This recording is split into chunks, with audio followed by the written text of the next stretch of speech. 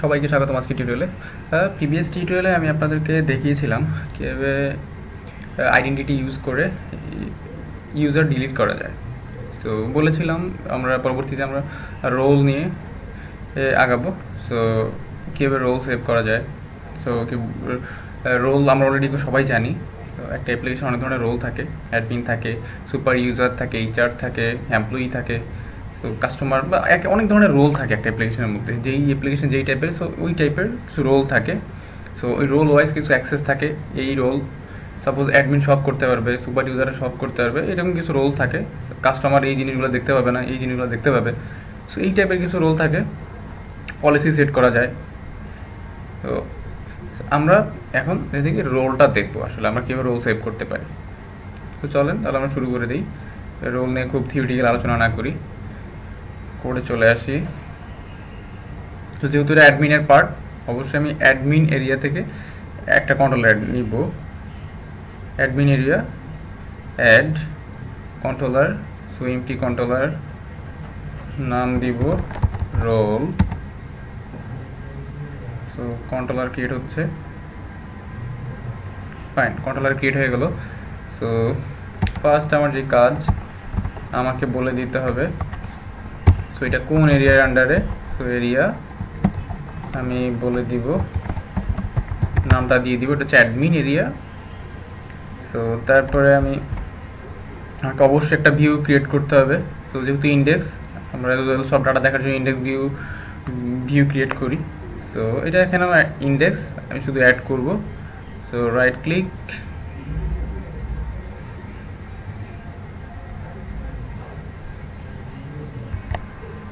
So ইন্ডেক্সের জন্য একটা ভিউ ক্রিয়েট করব add add view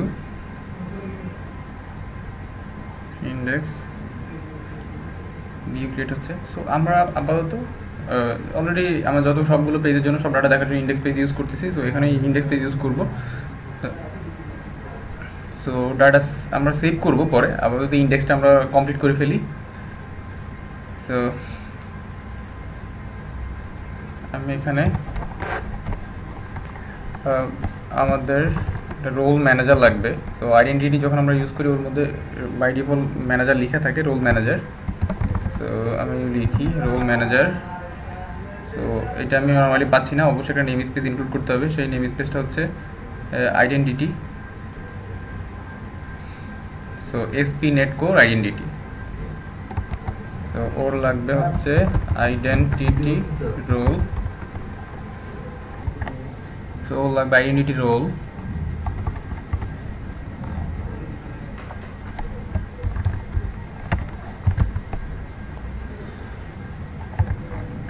সো লাগবে আইডেন্টিটি রোল আমি লিখি আবার। Identity so identity role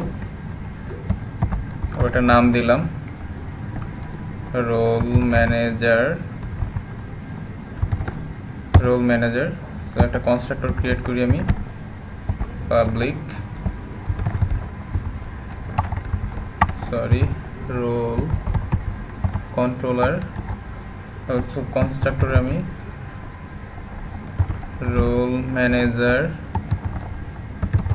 identity role so role manager role manager sorry role manager দিব। এখানে এসে ইনিশিয়ালাইজ করে দিব, আর কিছু না। Role manager equal equal role manager so হয়ে গেল। সো এখানে আমার যেটা করতে হবে রোল ম্যানেজার থেকে ডাটা যেহেতু ম্যানেজার সো ওই ম্যানেজারকে কল করলে আমি ওদের বাই ডিফল্ট বানানোর অনেক মেথড পাবো। সো ওগুলো অ্যাক্সেস করে আমি ডাটা রিড টাইপ করব সেভ টাইপ করব সব কিছু এই মেথড দিয়েই করতে পারব চাইলে। তো বার একটা ভেরিয়েবলের নাম নিলাম। Roles so role manager dot roles so এই রোলস মেথড আমাকে সব ডাটা দিবে। এটা গেট এটা গেট মেথড সো এটা হচ্ছে IQueryable so list of IQueryable অনেকগুলো, সে আইডেন্টিটি রোলের একটা কালেকশন দিবে আমাকে।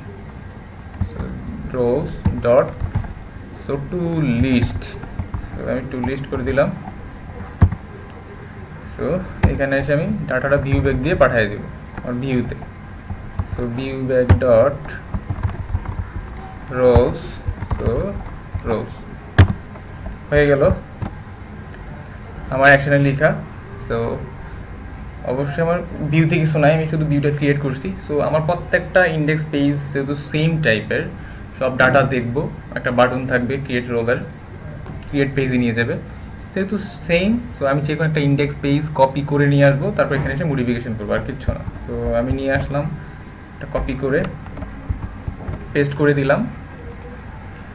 তো যেহেতু আমার এই জিনিসগুলো আর লাগবে না, আমি রিমুভ করে দিব। তো এইখানে এসে ইউজার লিস্ট এটা হয়ে যাবে roles so new user so new role so new role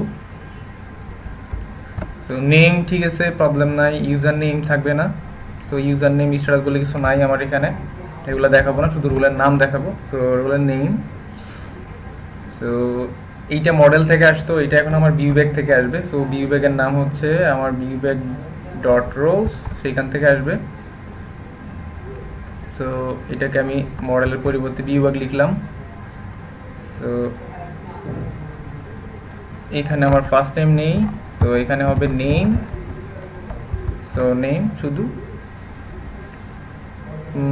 এইগুলো আমার দরকার নাই, তো এগুলো আমি আপাতত সরায় রাখি, তো নেম আর শুধু আমার পার্সিয়াল ভিউটা থাকবে সো যেখানে আমি প্রত্যেকটা তিনটা বাটন থাকবে, সেই বাটনগুলোর কাজ আমার পার্সিয়াল ভিউটা অলরেডি আপনারা জানেন তো আমি এইটা লাগবে আমার, এটা আমি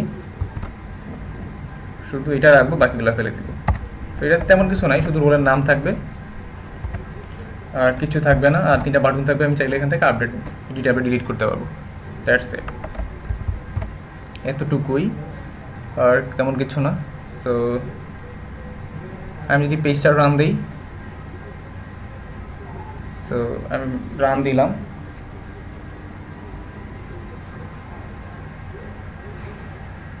একটা প্রবলেম হওয়ার কথা তো সেটা নিয়ে কথা বলব। আগে প্রবলেম ফেস করি, তারপরে বলব।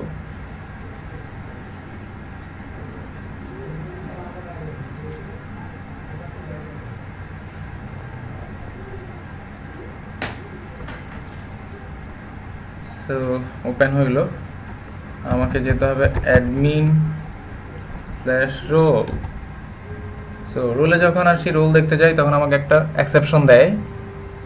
সো এক্সেপশনটা পড়লে একটু বুঝতে পারবেন। আপনারা ভালো করে আশা করি পড়বেন। সো এই এক্সেপশনটা যেটা বলে সো এটা যেটা বলে সো আমাদের যে সার্ভিস আছে সার্ভিসের মধ্যে আইডেন্টিটির কোনো সো আইডেন্টিটির জন্য আইডেন্টি রোলের জন্য কোনো সার্ভিস অ্যাক্টিভেট করা নাই। সো সেট আপ করা নাই সো আমরা সেটা করতে হবে। সো চলেন, তাহলে এটা কোথেকে করতে পারব, বলি। সো অবশ্যই আমাকে যেতে হবে স্টার্ট আপ ক্লাসে স্টার্ট আপ সিএস ক্লাসে স্টার্ট আপ আসলাম। তো, এতদিন আমরা যেই কাজটুকু করতেছিলাম সেটা হচ্ছে add default identity identity user so এটা বাই ডিফল্ট স্টার্ট আপ ক্লাসে থাকে। তো এই জন্য আমাদের, আমরা যখন ইউজার সেভ করি, আমাদের কোনো প্রবলেম হয় নাই। সো অ্যাড ডিফল্ট আইডেন্টিটি সেটা ডিফল্টভাবে থাকে আইডেন্টিটি ইউজার সো এখন আমাদের একটা এক্সট্রা জিনিস চলে আসছে আইডেন্টিটির রোল তো সেইটা ওর এখানে সার্ভিসের মধ্যে নাই, সেই জন্য আমাকে সে অ্যাকসেপশন দিচ্ছে। সেই সেট আমার লাগবে আইডেন্টিটি রোলের জন্য। তো সেটার জন্য অবশ্যই অবশ্যই এখানে চেঞ্জ করতে হবে। এখানে আমি বলব সরি রান অবস্থা আছে। আমি একটু ক্লোজ করে দিই। Add identity add identity so এইখানে থাকবে আইডেন্টিটি ইউজার তো আমাদের অপশন দুইটা এখন। সো আমরা আইডেন্টিটি ইউজার সেভ করব। আইডেন্টিটি রোলও লাগবে। সো আমরা কমা সেপারেটর দিয়ে আমরা আইডেন্টিটি রোল দিতে পারব। তো আমরা এখানে বলব আইডেন্টিটি রোল হয়ে গেল। আইডেন্টি রোল দিয়ে দিলাম। সো এবার আমি বিল্ড দেই একবার প্রজেক্টটা সো বিল্ড দিলাম। এইবার রান দিই।